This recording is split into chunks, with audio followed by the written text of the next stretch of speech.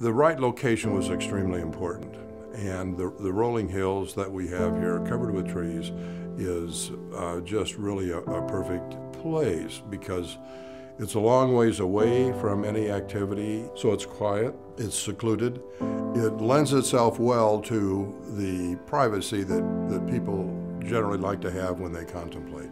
Right now, uh, the first objective is to develop the campus for the retreat, which is up on a hill overlooking the Platte Valley. I want the retreatants to uh, be very comfortable, to uh, feel very welcome, and to have a, a, great experience, mostly subliminally with the facilities in uh, which they are uh, praying, uh, eating, and sleeping. This type of retreat is different. And, it, and so I say to people, if you have never afforded yourself the luxury to go on an Ignatian retreat, you ought to do it once to see if it's the kind of thing that really gives you the uh, spiritual fulfillment that you would like. I call it my selfish weekend, where nobody's going to interfere with the thought process that I have uh, started.